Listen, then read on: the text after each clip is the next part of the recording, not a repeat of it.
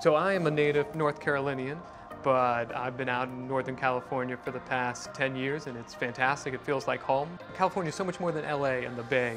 You never realize, you know, how far up the state goes, how deep those canyons go, how tall those redwoods are until you're out there. Legal Services of Northern California began as uh, the Legal Aid Society of Sacramento County in 1956. Uh, we encompass a core service area of 23 counties served by eight offices. Uh, it's a mostly rural service area uh, with uh, some urban areas like Sacramento and Vallejo. Legal Services of Northern California values diversity more than any other agency I've ever worked with. We want our attorneys and our advocates to represent our community. And what we mean by that is not just the way that they look, but also their language and their experience. Working at Legal Services of Northern California is just really great uh, experience, especially for a new attorney because you're working on cases from day one. You're also going to be working in the community, working with clients, um, you'll be working on policy work, le legislative advocacy. We give you all the tools that you need to put in your toolbox in order to advocate on behalf of our clients. We expect our attorneys to grow and we help you grow. So there's a trajectory. When you first come, you get cases, you're just trying to figure out how to interview people. And then as time goes on, we'll add you to our briefs. You're gonna be writing briefs, you're gonna be out in the community, then you're doing community presentations, then you're a lead in the community. Now you're filing the briefs, it's your case. So our job is to work with you to grow on your trajectory so you become a better attorney.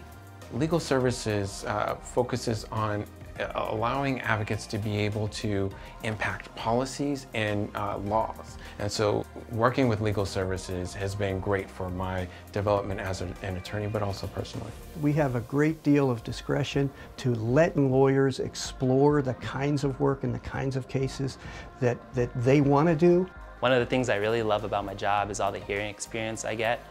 Um, I've done a hearing almost every month uh, my first year which has really helped me grow and now I'm doing two to three hearings a month and helping a lot of people. As a recent graduate, there is actually a lot of support that you get financially.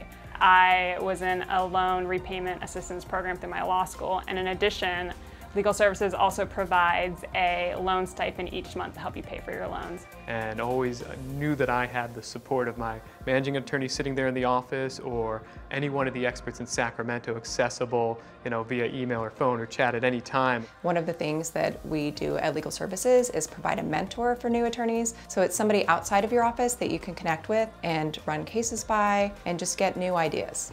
As a legal services attorney, I always feel like I'm supported feel like I'm part of a team, not part of an organization of eight separate offices, but as one unified front uh, in this fight against poverty.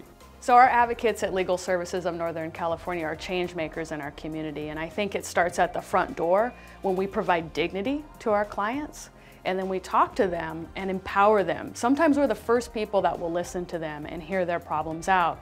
So we help build infrastructure in our communities so that we can serve more people. And that's a really important part of what Legal Services of Northern California does. At our office, we always try to have a lot of fun. We meet up to have dinner uh, as much as we can. Um, it's important for us to uh, uh strengthen those bonds.